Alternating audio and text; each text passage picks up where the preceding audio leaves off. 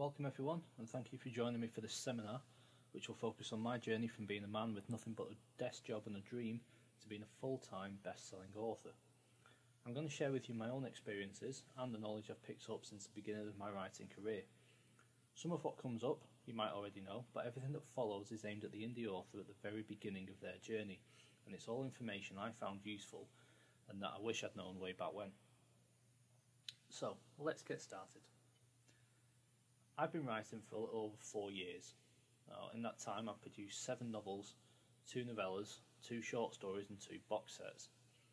I've also taught myself the business of being an indie author and publisher, and for the last 14 months, I've been able to live my dream of doing this full time. In my career so far, all seven novels and the first of my two box sets have been bestsellers on Amazon. My fifth title was also a 2015 winner of Amazon's Kindle Scout program, and hit the number one spot in the paid Kindle store in three countries when it was released. Not for long, admittedly, but it got there, and that's what matters. For those few hours, I was king of the world. Now, whether you're just starting out or well on your way, it's always important to stay dedicated and focused. But you do need to be realistic. Very few traditional publishers, uh, traditionally published authors make a full-time living from their book royalties the average trad author will make less than $11,000 a year. Now, indies have the opportunity to do much better than that simply because we're paid monthly and not every six months. And a growing number of us do. But what you need to remember is that people like Lee Child and J.K. Rowling, uh, people like Mark Dawson and Rachel Abbott, they're the exception rather than the rule. They're the, the top 1% of the industry.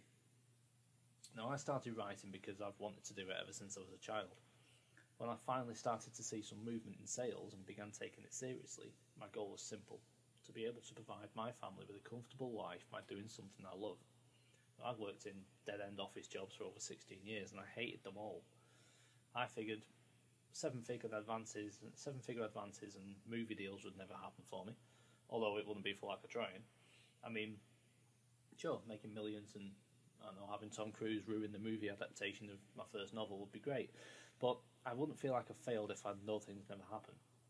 You should understand that this is one of the hardest ways to earn a living, and it takes time to build up your income before you feel comfortable relying solely on your book sales to pay your bills. So don't be disheartened if your journey takes time. And don't think you failed just because you don't make six figures every month. There are many levels of success, and comparing yourself to your peers sometimes causes you to lose sight of how well you're actually doing. Now, on average, I make a mid to high four figure income each month. Can I retire at 40 and buy a yacht? No. But I can do exactly what I set out to do, and because of that, I consider myself a success. Now, all that being said, whatever your view of success is, it's 100% possible to earn a living wage from writing, and I hope my experiences of achieving that proves useful to you. So let's, let's begin by looking at how I got started. More importantly, let's start by looking at what I did wrong, right from the very beginning. Now, when you start something new, there's always things that you're going to get wrong. Let's call them learning learning experiences rather than mistakes. But here are a couple of biggies I made. Okay, now these are maybe common knowledge and probably common sense now, but when I was first starting out, I simply didn't know, and I wish someone had told me these at the time. Avoid vanity publishers now, these are the people who ask you for money up front in return for publishing your book. Some of them may also offer to design your cover or edit your manuscript, even promote your book, but the upfront cost is usually extortionate and may also include an ongoing percentage of your royalties. Now, no legitimate publisher will ever ask the author for money in order to publish the book, and the ones that do tend to do a pretty naff job of it.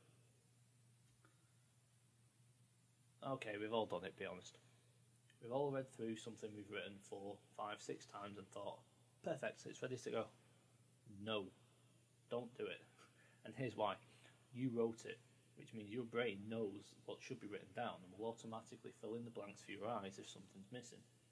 You can't be impartial to your own work. You should always get an independent set of eyes to review it before publishing, whether that be your editor or friends or family. Trust me, after seeing the flood of one star reviews coming from my first novel, complaining about the quality of the editing, I soon realised I needed professional help. Not literally. Now, everyone learns from the mistakes, and here are the biggest takeaway points I have uh, after plenty of my own uh, mistakes in my early days. You can figure this out on your own. Okay, same way those vanity publishers did.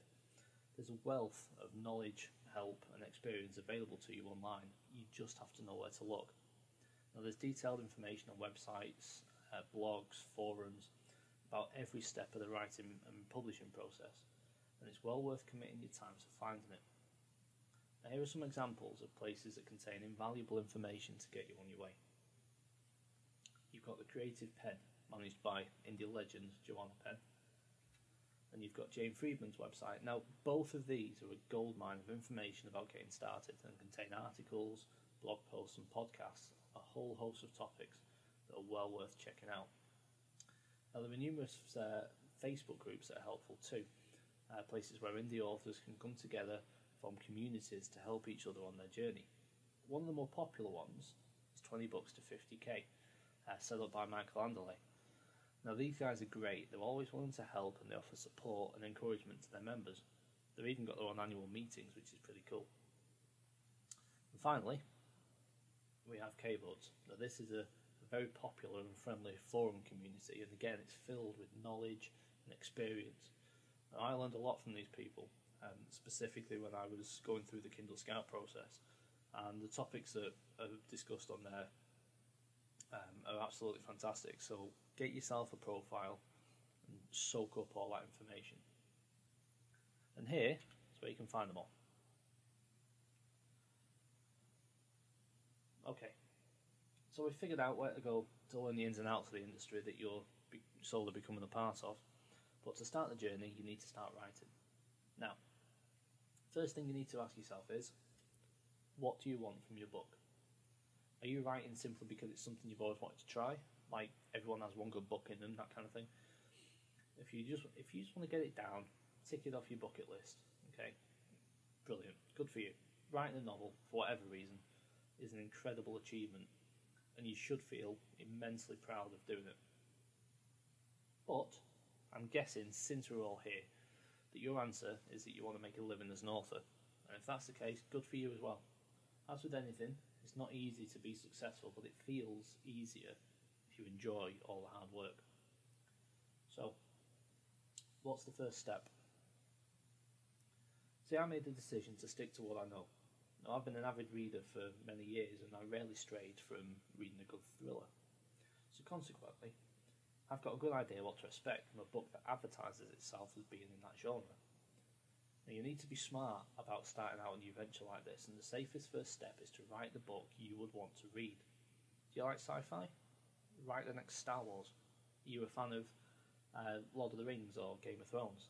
Write a sprawling fantasy epic See, personally, I couldn't write an historical romance novel if my life depended on it, so I'm not going to waste six months of my life trying to.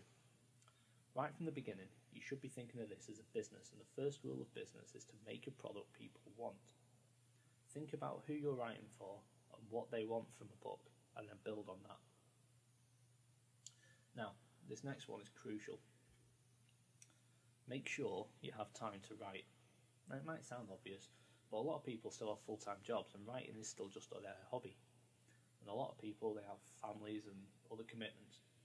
And being a writer doesn't mean that every other aspect of your life stops. So make time for yourself so you can spend even just an hour a day locked away in your own little world. Like I say, it sounds simple, but it's harder than you'd think. And it's very easy to try doing everything all at once. Right, remember, without the book, you don't have a business. Finally, you need to set yourself some realistic goals. I know a lot of people who say they have to write 3,000 words a day, or 5,000, or 10,000. I know people who release full length novels every month. And do you know what? Good for them. I can't do any of those things. And it's not that I'm not disciplined or committed, but having tried to write 5,000 words a day, I found it was very difficult for me to do. I put a lot of pressure on myself, and I found that not only was I not coming close to that target on a daily basis, but I felt like I was failing because of that, and it, I became very disheartened. So I found a way to keep working and keep motivated, but at an attainable level. See, my personal target is simply to write one chapter every day. Now, it doesn't matter how many words, just one chapter each day.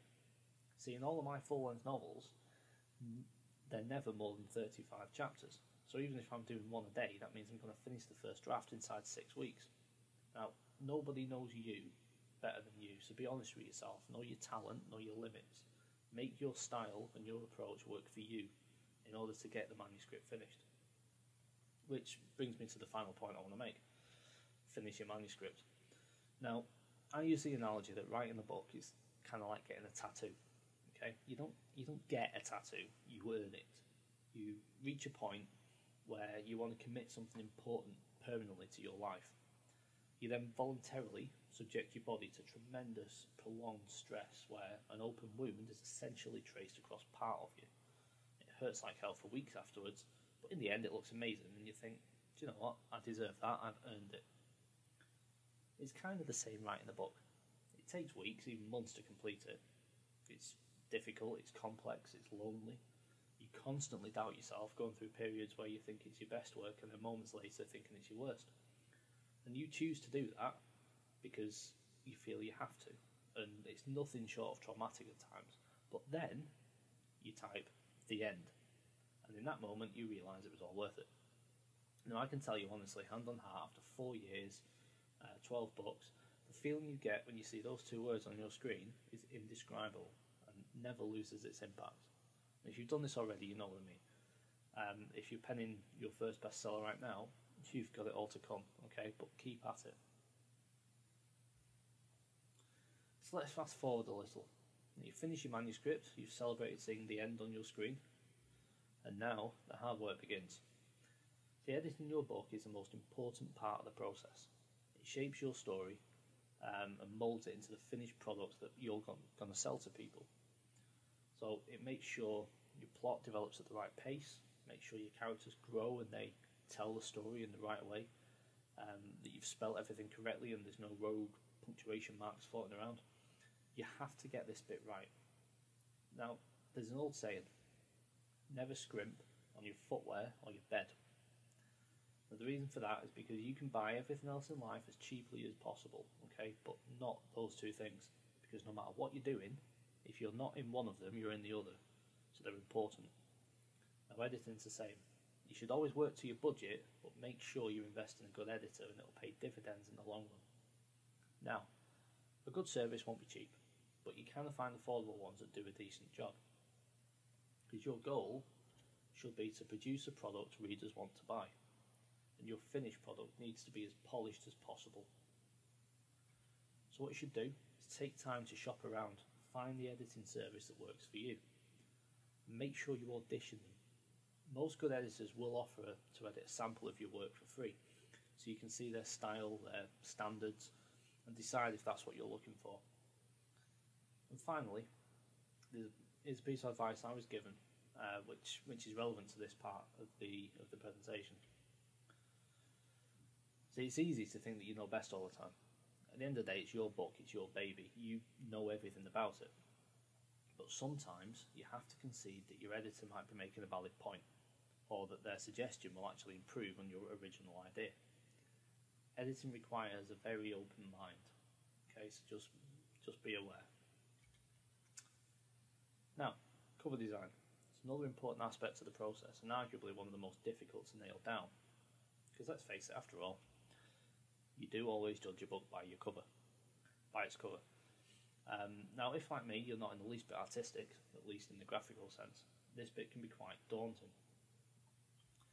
There are so many covers out there, and the majority of them look the way they do for a reason. But somebody told me once there are only seven different types of cover. You have the you have a silhouette of a, a figure against a backdrop. You have a scenic shot. Um, you have a, a face kind of turning to look back at you. Um, I can't remember the rest, but I remember them saying to me, if you go into a bookstore and you look at every book they have, guarantee each cover will fall into one of these seven categories. And I did it, and they were right.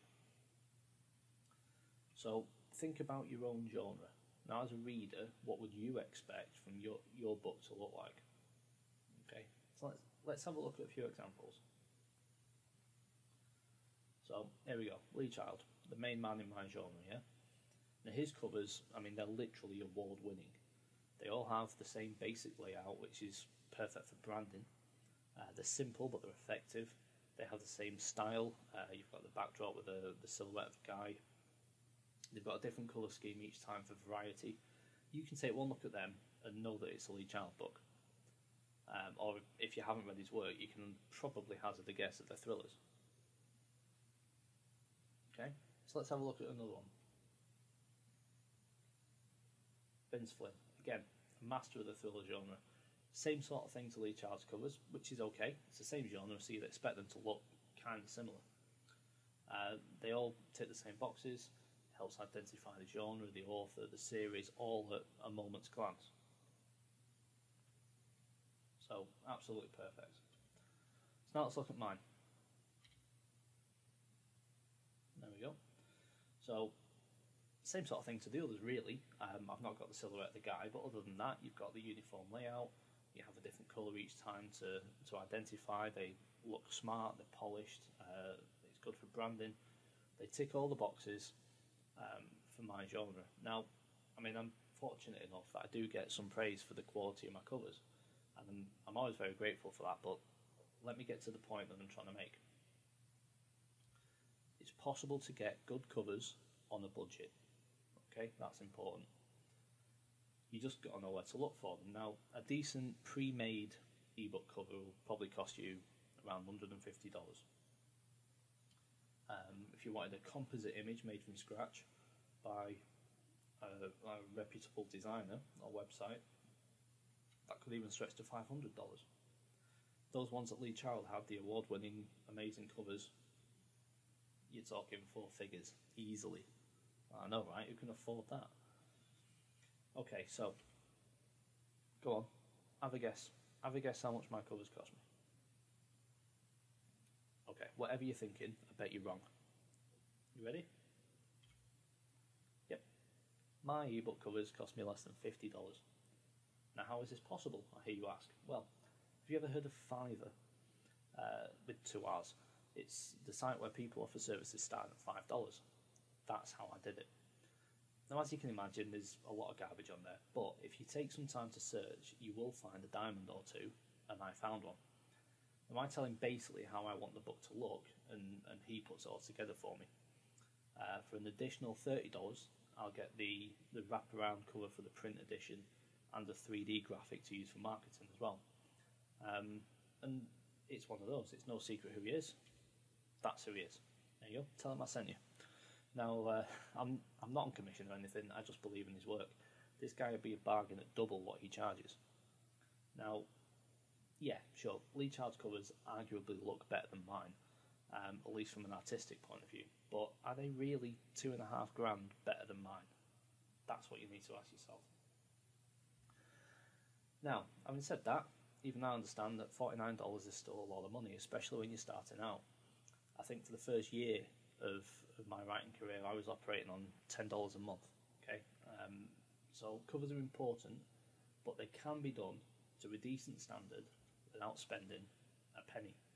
Okay, you can do them yourself, and you don't need to spend hundreds of pounds and dollars on software like uh, Photoshop or or InDesign. I use these guys, Canva, to create all the images for my advertising. Um, you can create an account at no cost. You can get started straight away. Um, it's a really, really simple interface. It's kind of like a drag and drop version of Photoshop. All right, so it's dead easy to do. Um, I think they've got over a million stock images that you can use, and the majority of them are free. Some of them um, you just pay a dollar for using that image once, um, and that's it. It's basic. It's simple you can put something together that looks half competent in about 10 15 minutes um, and and away you go. And if you want more images there are sites like uh, Depositphotos which are that have a huge catalogue of stock images that you can purchase and use. So so don't be disheartened if you feel like you'll never afford something as good as what you see on a traditionally published title because you don't need to. Okay so we've looked at the exterior of your book. Now we need to look at the interior. Now this is something I've lost countless hours on trying to perfect and there was really no need for it. But when I first started out, I was tweaking the Microsoft Word document for days at a time so it would upload to Amazon correctly. It's not ideal. Uh, but then, like everything else to do with publishing, there is a science behind it. So the first step is to decide on the right look for your book's interior. Think about your audience and what they would expect. So, for example, you can use uh, drop caps at the start and have a big fancy first letter for the first paragraph of your chapter. But would a large, elegant looking first letter look better in a sci fi book or a romance book? Does a, a straight up thriller need fancy fonts and graphics inside? And these are all things that you should consider before getting stuck into the process. Now, there are two main formats for your ebooks output. There is the MOBI file, which is used by Amazon, and there's the EPUB file, which is used pretty much everywhere else. And you also need to think about um, formatting your manuscript in a completely different way for the interior of your print edition publishing platforms like CreateSpace, um, Amazon's KDP, uh, Ingram Spark, they all have their own requirements and standards uh, for this process, which you have to learn and compensate for. So, if you're going to go it alone, you need to understand it takes time and patience to get it right. But don't let that put you off if you're in a position where you want to save your money. There are plenty of tools available to you out there um, along with blogs and guides online that provide detailed instructions on how to produce a professional book interior. And one of the most universally popular pieces of software is Calibre, which you can find there. Um, it's free, it works on all systems uh, Windows, Apple, whatever, um, and it's pretty easy to use. You're able to produce a good quality ebook file in a matter of minutes and just, and you can also set it so that you have templates so future books can be done by literally pressing a couple of clicks. Now there are alternatives to Calibre, uh, which and they tend to delve a little deeper into HTML coding and that side of things. And whilst it will arguably produce a better product, it's a lot harder to learn. For me personally, when I was starting out, I wanted to make life as simple as possible for myself, so I stuck to Calibre. Okay, so another popular tool is Vellum, uh, which you can download from there. Uh, now it is for Apple users only, and it, it's a little pricey initially, um, but by all accounts, every writer I know with a Mac swears by it. So it's an option if and it's an option that will give you a very high quality output quite easily uh, for every format you can think of. Okay, and finally, there is Scrivener. Uh, now that's a popular tool for, for drafting your novel as well as for exporting it into ebook formats. And it's not easy to learn, but it is diverse, so it's very useful once you know your way around it. I've also found, as a little tip for you, I've also found that if you hunt around online, you can normally find somebody offering like some kind of promotional code um, to get a bit of a discount when you download it as well. So you can do that to save yourself a bit of cash. Uh, so alternatively, you can give this irritating and time consuming job to somebody else, which is now what I quite happily do. Um, now, I use Polgarus Studios, and they offer a very professional, reasonably priced service, and are very popular amongst indie authors. Uh, you simply send me a manuscript and your cover, and they send you back a, a MOBI file, an EPUB file, and a PDF of your uh, print interior. Now, normally that takes two or three days, and it's always under $100. Okay, you can find them. You can find them there. Um, and as always, you know there are lots of options out there, uh, all within different price ranges, um, all all different quality. I found these guys to be the best um, out of the ones I I tried, but take the time to look around and see what suits you. Okay, so we're getting closer now. Your book's ready to go. You just need to hit publish. But that's a tough decision to make. See, when I first started out, I researched all the options available to me and made my decision based on what I thought would work best. And before I get into that, I want to talk you quickly through everything I took into consideration before I made the choices that I did. Now, I'm going to share with you some numbers, uh, which I've taken from the authorearnings.com website, um, and they're based on quarter one of this year, 2017. Okay. So, to start with, you have four major ebook markets. You have America, you have the UK, you have Canada, and you have Australia. and this is the country's market share for all ebook sales in quarter one of this year. So as you can see, it's pretty heavily weighted towards that US market. Uh, now, for those doing the maths, the remaining one percent is comprised of every other country. Okay, so these are the four, the four major ones. In much the same way, we have four major retailers. You've got Amazon, obviously. You've got Kobo, you've got Apple, and you've got Barnes and Noble. And again, here's the market share for all ebook sale, ebook sales across these four retailers. Now, yet again, dominated by one in particular. And for those of you doing the maths, the remaining 3% is made up of all other online retailers. Now, it's worth noting here that these figures aren't as one sided as they first appear. For example, Kobo's 2% of sales actually accounts for almost three quarters of Canada's 4% of sales. So, whilst those figures are a good guide, it's not as cut and dry as simply saying everyone except Amazon is rubbish at selling books. Now, I know many authors who make more money per month across the other three platforms than they do from Amazon alone. Okay, so let's look at your options. Your first one is that you can publish exclusively with Amazon using their Kindle Direct Publishing portal. And by doing this, you can opt into their Select scheme, means you will gain access to promotional tools such as free giveaway days and countdown deals which allow you to showcase your book in a way that Amazon will support, which will increase your title's visibility. And what you can also do is um, you can enter your titles into the Kindle Unlimited subscription program, which means you'll not only get paid for every sale as normal, but you'll also be paid for every page somebody reads on their Kindle if they download your title as part of their subscription. So this essentially gives you two audiences and two revenue streams from one retailer. Now, alternatively, you can go wide. And by that, I mean you can publish your title everywhere else. So you'll be on Kobo, which is, they dominate the Canadian market and they perform better than most in Australia as well. Um, you'll be on Apple and you'll be on Barnes and Noble, although it's worth noting they are, um, they only service the United States.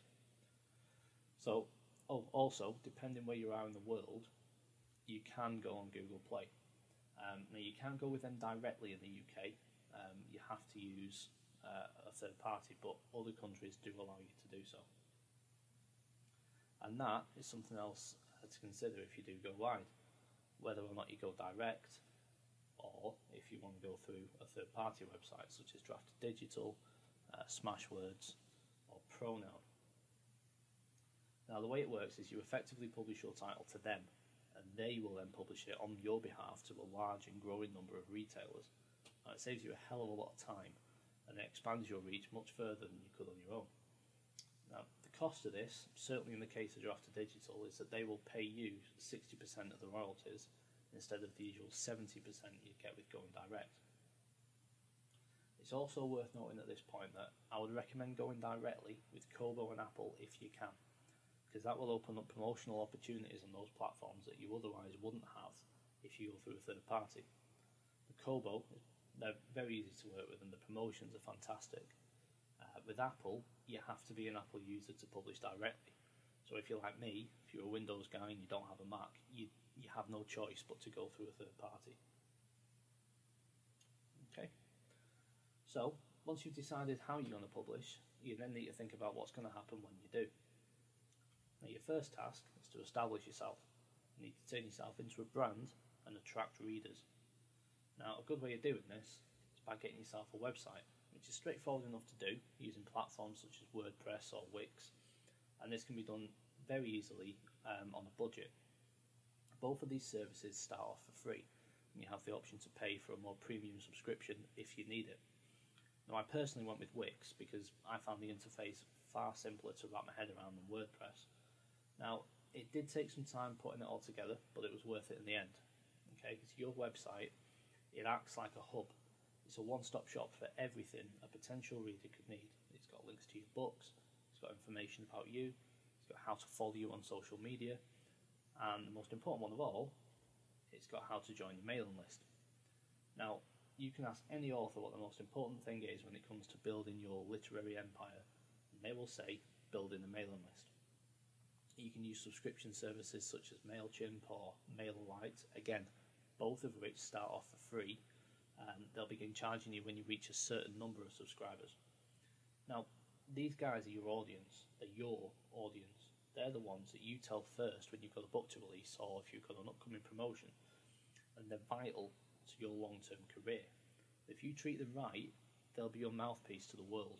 Okay, so start building your list from day one and focus on growing it. So I dedicate a percentage of my advertising budget to getting new subscribers. And there's no immediate return for the cost, but I'm confident that if someone takes the time to join my list, the chances are they're going to read my books.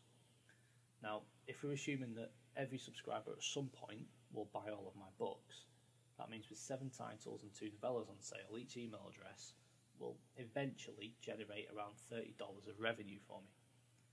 That is well worth spending 50, uh, $5 a day on, which is what I do. And for that, I will get 15 to 20 new subscribers every day. So, in order to start growing your audience, you need to give them a reason to invest in you. Now, you want them to share your per- their personal information with you, and you want them to buy your products. So you have to make it worth their while. What I did, I wrote two, um, two 10,000 word short stories purely to give away to new subscribers. Now, that incentive, that appeal of something that's just for them, works really well in attracting new readers to my series. And then once they're on board, take the time to get to know them interact with them on social media, send out newsletters updating them on your life as an author. More often than not, my emails contain very little about my books and more about me and my life.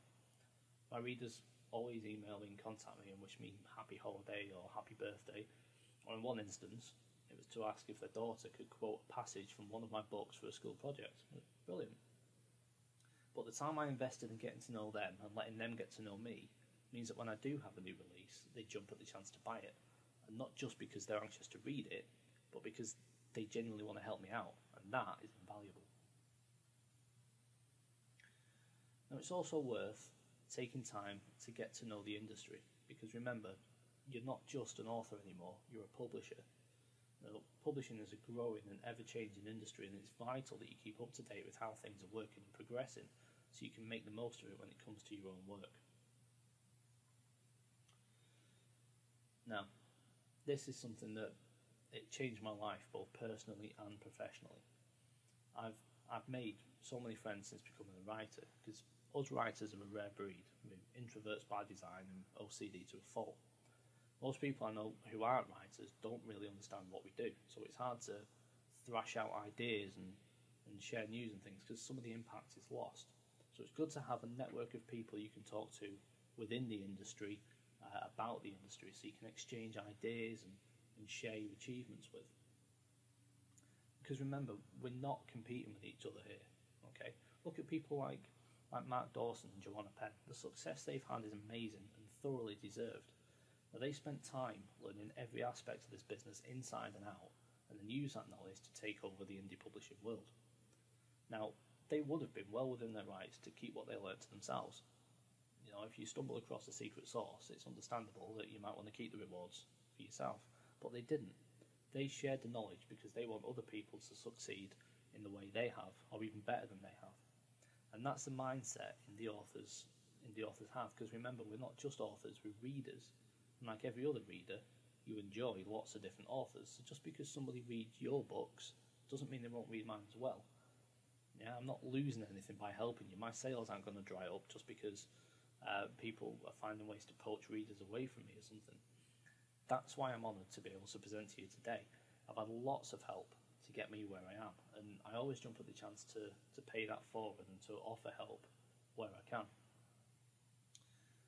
Now, there are loads of communities on social media where you can do this. Um, I mentioned the 20 books to 50k guys before, um, and you've also got the Alliance of Independent Authors who make it make a point of uh, bringing writers together uh, just like this and to help them learn, grow, and succeed. So take the time to join them. Okay, so now we're into the nitty gritty. The, the last step that I think you should consider before we take a look at the exact path I chose that led me to where I am today. Nick Stephenson. So, discovering this guy changed my writing life completely. He offers a course that, that's aimed at authors who are just starting out and it helps them build a platform on which they can establish a career for themselves. Now, a lot of the things I've I've talked about here stem from the lessons that I learned from Nick. Without his help, I wouldn't be where I am today. You can find his course there. Uh, I personally think it's well worth your time and investment. Okay. So, that's everything I've learned and everything I researched and took into account before embarking on my own journey. So, how did I go from writing, having written nothing, to writing for a living within five years? Okay, so my first step was this. Now, to me, that was a no brainer. Three quarters of all ebook readers are American. Now, I don't have the resources to publish my books multiple times in both US English and UK English or any other language, come to mention it. So, if I'm going to do it, I'm going to start by catering to the largest reader base and then go from there. Again, the same logic applies to this one. Amazon are the biggest retailer, so it made sense to go with them. I figured if I target the largest reader base on the largest retailer, I'm giving myself the best possible chance for an early success. I also put into place the things I learned on from Nick's course. Uh, on the March 23rd, 2015, I relaunched the first three books in my series, which was all I had at the time. Um, they'd been re edited properly this time. Um, they had new covers and they were backed up by a new look, uh, all singing website. Um, I also made the first book free, and I use links in the back of my books to tempt readers to join my list. And finally, I optimize my Amazon product page, my search keywords, and my metadata, which are all little things which I know was standard practice nowadays, but for me, all alone and naive in 2015, it was all new information. Okay, you don't know something unless you're told, right? I just want to highlight something here as well. You should always have sign up links in your uh, in your books to your mailing list. Okay, that's a given. Now, a lot of people I know put them in the front and the back of your book. But what I do is I advertise the mailing list in the front, but I only put the sign up link in the back. I say something to the effect of join my list and receive two exclusive short stories. Sound interesting, details are at the back of the book. Okay? Now let me tell you why I do that. Let's say a potential reader, someone who's never read your books, is checking out your look inside preview on Amazon. Okay? They see your sign up pitch and they click it thinking it sounds like a good idea. Chances are they'll be getting something for free for doing so, right? So why not? Now, they might go on to buy your book, they might not. If they buy it, they might like it, they might not. But by clicking on the link in the front of your book, they're joining your list purely because they're getting something for free, not because they like your books. Remember, at this stage, they still haven't read them. So that means the odds of keeping that reader are against you right from the start. But if they click the link in the back of the book, they have to read your book first to get there. Now, again, they might click it, they might not. But if they liked your book, and let's face it, why wouldn't they? They're already invested in you, which means they're more likely to click the link and, more importantly, choose to remain on your list when you start asking them to buy other things. Now, you might not get as many subscribers, but the ones that you get are more likely to be there for the long haul and not just because they like something for nothing. That makes sense? So, how did all that preparation and those tough decisions work out for me? Well, in August 2015, I landed a book club featured deal. I'm sure we all know how useful these things are, as well as how difficult they are to get. In four and a half years, I've had two, and I submit every book I have to them every month. Okay, so that's a that's a lot of rejection. Um, but the first book that I got was my free title, and in 24 hours, it amassed over 26,000 downloads, which put it at number one in the free Kindle store in six countries. Now, in the five weeks that followed, my sales skyrocketed, giving me the beginnings of a successful career. And it wasn't just sales that grew. I also gained just over 4,000 new mailing list subscribers in about a week, which again, that gave me a whole new audience for me to market my books to. And this was where I really started to see some return for my hard work and investment up until this point. as well as a bit of light at the end of the tunnel that, you know, maybe I could turn this into a career. So, the message so far is really that it takes a lot of work and a bit of luck to find success. At this stage, things were going well for me, but I wanted more. I was releasing new titles as often as I could. I knew there was another level of success to be had, desperately wanted to know how to attain it. And that's where this came in. Now, most indie authors know Mark for his work with Facebook advertising, and joining his course gave me that last boost I needed to turn my career into a full time gig. Now, I met Mark and his team at the London Book Fair in April 2016, and his Facebook Ads for Authors course, as it was known at the time, was due for, to open for enrolment in June. And you can find the details there. Um, now, his self publishing formula uh, course, his program, it covers everything you need to start advertising on Facebook, uh, on Amazon, and they work especially well if you're exclusive with Amazon because they're a great way of boosting your page reads, um, which adds to your visibility. And very soon, uh, it will have a course on BookBub advertising as well, thanks to the legend that is Adam Croft. Now, BookBub ads can perform very well when advertising titles on other platforms such as Kobo and Apple. Um, you tend not to see as good a result for Amazon titles as you do on other platforms. Now, I lost my full time job in June 2016 and shortly after I joined the course. Naturally, panic set in. It was my primary source of income, and whilst it wasn't always more than my royalties at that stage, it was guaranteed every month, it was safe. So when I lost that, I got scared. And then thought, I'm almost there with this right thing anyway, so we'll give it a month and we'll see how it goes. So I blasted through that Facebook course, okay, and then I released a box set containing the first three books in my series, and I implemented my newly found knowledge to create a Facebook campaign. And I never looked back. Within three weeks, I was earning four times what I earned per month per month from my old full time job, all thanks to that course. The Facebook advertising is not an exact science. In my experience, what works for one person very rarely works exactly the same way for somebody else. It takes time, but the course helps you and it really does make a difference. So, whether you join the course or not, when it's open for enrolment, it's up to you. Okay, I owe Mark a lot, and I'll always say a kind word about his efforts. But there are plenty of free resources online to help you navigate uh, Facebook's, Amazon's, and BookBub's advertising platforms so you can get your own ads up and running. Explore them at your own pace and only commit money you can afford to. But make no mistake, okay, advertising on social media and retail platforms like this is the most effective way to consistently boost your sales and take your business to the next level. But that said, it's not the only way.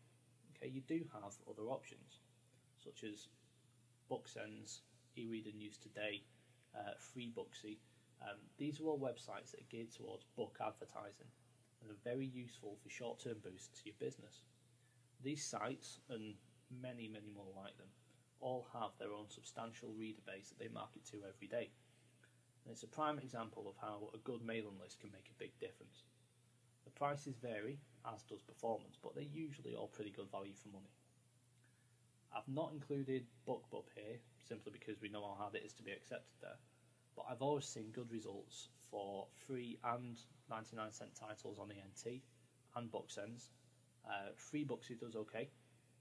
Uh, Bargain Booksy, which is their kind of 99 cent sister site, um, not so much in my experience, but everyone's different, and I know some people who, who swear by them for discounted titles. As always, have a look around, see what works for you, give it a go. You also have uh, dedicated Facebook groups which you can join as an author to post about your books. And these books are seen by readers and can be shared by other authors to increase the post's visibility. In my experience, I've found these to be less effective than a, a mailing list focused campaign, but they're free, so you're losing nothing by hunting for a few groups to try your luck in. What I would do is have a look at the number of members that they have and also see if there's any author friends in there that you know. That's a, a pretty good indication of whether or not it's a decent group to join. And don't forget your own mailing list. By this stage, it'll be growing by the day, Um, so there'll always be new people to reach out to who might not know about all of your books. But what I've taken to doing is including um, advertising banners at the bottom of every newsletter that I send out. One of them directs people to my main book page on my website, and the other prompts them to join my Facebook group. There's always a little spike in sales as a result of sending out an email campaign now, which is which is very useful. And for the adventurous, you have video ads. Now, these are doing great for people on Facebook at the moment. And whilst there are services that can produce book trailers for you of varying quality and cost, all you really need is your mobile phone and a good sales pitch. Uh, sometimes the personal approach of you addressing the reader directly on camera can work just as well, if not better, than a fancy old singing, or dancing video trailer. Now, those are just some of the tools and services available to you to promote yourself and generate interest in your brand, but there are alternative strategies to targeted promotion. A popular one is working with fellow authors to help each other out with cross promotion. So, if you find a, a, small group of authors who write in a similar genre to you, reach out to them, suggest organising a, um, a retweet party on Twitter or uh, marketing to each other's own mailing lists that will open up a whole new audience to you because don't forget, no reader exclusively reads one author. Now, another method is using a service like InstaFreebie, which organises large scale social media campaigns that target readers and offer them multiple books and different authors for free. Now, these tend to be genre specific as well, so and if they're done well, you can you can yield good results. But with that said, I've found there are good and bad points to this particular strategy. Yes, it increases your reach and it allows larger audiences to gain exposure to your product, which is great for you. But, and this is a big but, these promotions are geared towards readers who predominantly look for free books.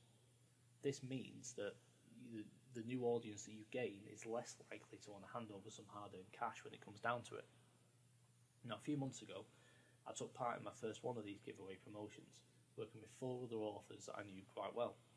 We arranged it between ourselves, and over five days, I gained just over three and a half thousand new subscribers to my list. That, that's a great result, but it's not as great as it sounds. If we fast forward a little bit, uh, two weeks and two email campaigns later, almost two thirds of them had unsubscribed. Why? Because I wanted them to pay for the rest of my books and they weren't interested. Now, they weren't what salespeople would call a quality lead, a warm lead, and my unsubscription rate went through the roof. But that's just me. I know authors have had similar experiences, and I also know authors who praise the the open and click rates and the interaction of emails sent to people they got through a method like this. The bottom line is, it's definitely worth a shot, but be aware that however many subscribers you gain, it might not be the most useful in the long run. Now, something else that's popular at the moment is getting together to make a multi author box set. Now, this is a strategy people use to hit a recognised chart like the USA Today bestseller list, for example. Now, the idea is simple you get a group of authors to include one of their books in the box set. You price that box set at 99 cents. Everybody who's taking part contributes to the marketing and promotional costs, and then you publish it and share the rewards some indies view this as a cheap tactic just to get recognition, um, whereas others see it as a proven strategy that boosts visibility. I, personally, I've never done it, and I've got no ill feelings towards people who have. At the end of the day, if it works, it works. So, we're well on our way. The books are published, your sales are coming in, your market uh, mailing list is growing. You might be full time already, or you might you might be on the cusp, and you might still feel you are ways off. Whatever stage you're at, it's important to remember that this isn't a race. It's a big decision to go full time and it's a scary one. So don't do it unless you're confident you can sustain it. But full time or not, by now you are running the business and your primary goal should be to make money. You need to manage your royalties sensibly. List your expenditures and budget accordingly. Slow and steady growth in advertising budgets is the most successful approach if you throw everything into everything you have into one Facebook campaign and it doesn't work, then you're screwed. So take your time, only commit the money you can afford to, test it to see if it works, and then plan to increase it if it does. Now, it's important to remember writing isn't the only thing that you do, okay? Because now you're no longer just an author. You're a marketer who advertises, who has advertising campaigns that they need to monitor. You're a publisher and you've got a growing industry that you need to understand. You need to manage every aspect of your writing career. You need to build on what works and you need to look to improve what, what doesn't. You need to remember that you're a brand, you're a product. Always be thinking about different ways in which you can turn your product into something people want. Now, let's look at a movie as, ex- as an example. Okay, a movie isn't just one thing. It's it's a cinema release, it's a DVD release. Um, it's then broadcast on television, so the rights are sold.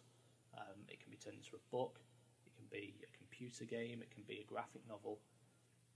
Lots of different ways that you can interpret that one product, and you're no different. You have the potential to generate multiple revenue streams by turning your manuscript into an ebook, uh, into a hardback or paperback, into an audiobook, um, into a box set. These are all ways to share your product with the world. And your goal is to increase visibility of yourself, your product, and your overall brand. Because remember, you as the author, you're as much a part of that brand as your book is. So have a look online for people with blogs or podcasts that you can reach out to and request interviews with, so readers and fellow authors can get to know you. The more they know about you, the more they'll care. And the more they care, the more support and money they'll invest in you. You should always think about how you can improve and build on what you have. No business settles for how things are. When when I had my first three figure month, I nearly cried with happiness, but the next day I wanted to know how I could make the next month a four figure month. Always look for ways to grow your business. And finally, remember that karma is a thing, okay? Now, as we've said, you're not competing with anyone, so make sure that you remain ethical towards other authors and your readers. Now, yes, some authors can be idiots, and yes, some readers can choose to leave a scathing, thoroughly inaccurate one star review, but you need to rise above it and move on. Nothing is anonymous online these days, and you don't want your name associated with bad press or negative feedback or any drama within the indie community, so keep your nose clean. You should always try and share what you learn with the authors that you know.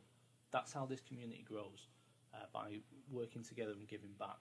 Now, I ask for help every day, and I always make sure I find time to provide it if anyone ever asks it from me.